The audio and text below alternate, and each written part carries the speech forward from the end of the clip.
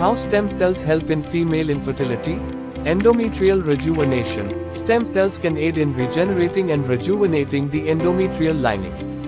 This is crucial for successful embryo implantation during in vitro fertilization IVF procedures, enhancing the chances of a pregnancy being established. Egg cell generation.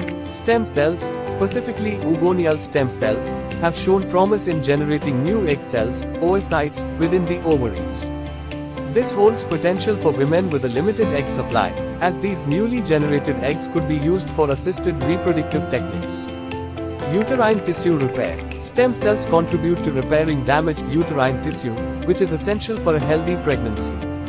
In conditions where uterine lining abnormalities contribute to infertility, stem cell therapies could improve the chances of successful embryo implantation and pregnancy.